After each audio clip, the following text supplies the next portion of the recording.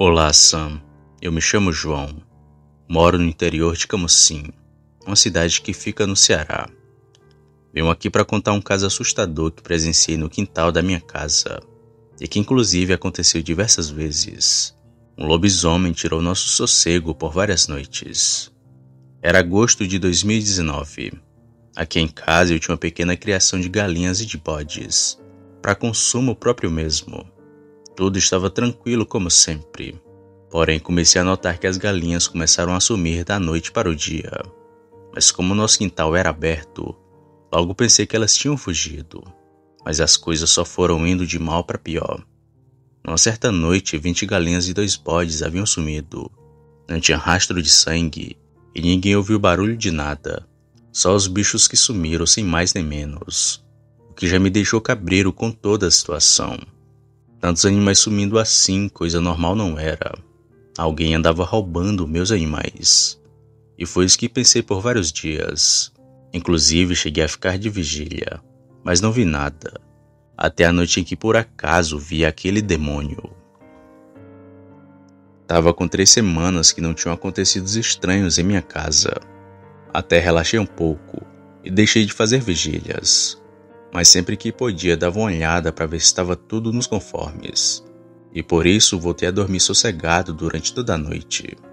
Mas numa certa madrugada de segunda para terça, acabei me acordando com vontade de fazer xixi. Assim que me acordei, não deixei de notar algo gemendo perto da minha casa, o que já me fez sentir um arrepio que cobriu todo o meu corpo. Porém, do nada, ouvi um berro de um bode e percebi que era um dos meus animais. Fui andando lentamente até chegar na cozinha de casa e peguei a minha espingarda que já estava no pronto para atirar. Após isso, me dirigi à porta dos fundos que ficava na cozinha e logo notei que vinha de lá aquele gemido, que era de um dos meus bodes. E assim que ligo a luz do quintal e abro a porta para ver o que estava acontecendo, me deparo com aquela cena macabra em meu quintal. De bruços e em cima de um dos meus bodes, estava um ser peludo, que tinha orelhas grandes e pernas que pareciam estar quebradas. Assim que me viu na porta, aquele ser soltou meu bode que berrou alto e logo saiu correndo em direção dos outros animais. Quanto ao bicho, olhou rapidamente para mim, mas que logo se pôs a correr de quatro, indo na direção dos fundos do meu quintal. E de lá, não sei para onde aquele ser acabou indo. Vocês podem estar se perguntando do porquê eu não atirei. Tinha a faca e o queijo na mão, mas estava morrendo de medo. Além do mais, isso que relatei foi muito rápido.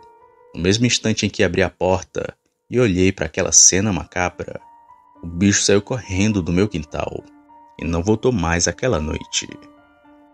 Só pela manhã que vi o estrago que o lobisomem fez com meu bode, que já estava com o pé na cova.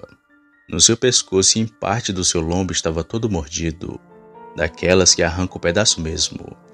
Vendo o animal sofrendo daquele jeito, preferi sacrificá-lo. Quanto aos outros bichos, eu vendi, pois não queria dar o gosto daquele ser comer meus animais todas as noites. Além do mais, se não tinha animais, ele não iria retornar. E foi isso que aconteceu. Mas foram noites longas e sombrias acordado com medo de que alguma noite ele fosse retornar.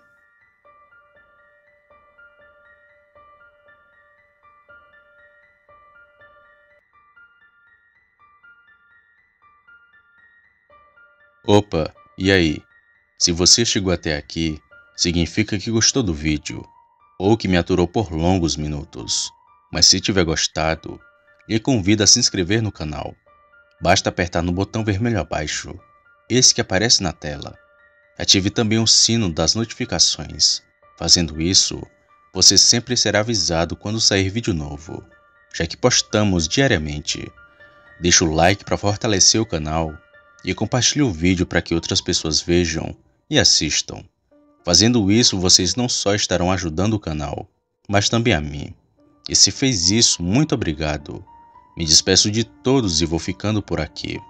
Fiquem com Deus e até a próxima.